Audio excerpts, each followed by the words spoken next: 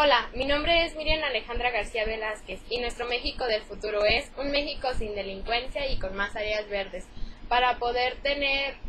una- un mejor futuro y poder tener más naturaleza